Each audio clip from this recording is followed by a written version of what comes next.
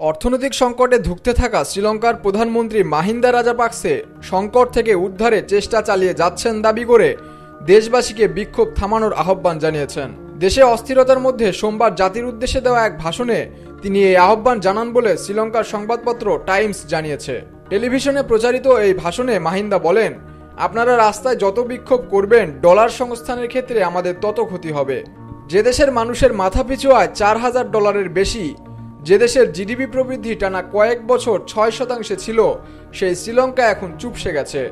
দেশটির বৈদেশিক মুদ্রা আয়ের প্রধান উৎস পর্যটন ও রেমিটেন্সে কোভিড মহামারীর কারণে ধস নামার পর ইউক্রেন যুদ্ধ শুরু হলে বিদেশি মুদ্রার তীব্র সংকটে পড়ে দেশটি।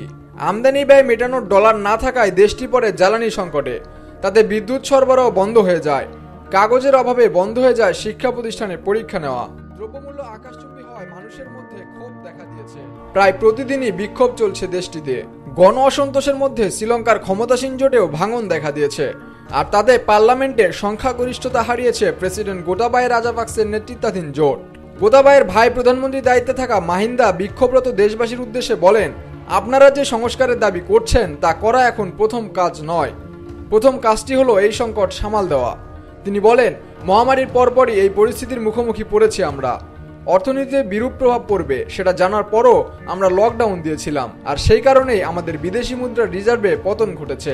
ছোট ভাই প্রেসিডেন্ট গোতাবায়েও নিজে এখন নিজেদের প্রতিটি মুহূর্ত সংকট উত্তরণের পথ খোঁজার চেষ্টায় ব্যয় করছেন বলে জানান মাহিন্দা। বর্তমান সংকটের জন্য পূর্ববর্তী সরকারকে দায়ী করে তিনি বলেন দু হাজার দশ সালে যুদ্ধ জয়ের পর আমরা ভোটে বিজয়ী হই। আমি তখন বলেছিলাম, আপনাদের বিদ্যুৎ দেব। আমরা বিদ্যুৎ কেন্দ্রের পরিকল্পনা করেছিলাম, কিন্তু পরবর্তী সরকার তা এগিয়ে নেয়নি। তারাই এই সংকটের জন্য দায়ী।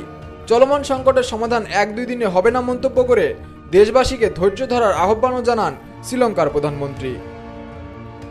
মজুমদার সবুজ, পুণ্ড নিউজ।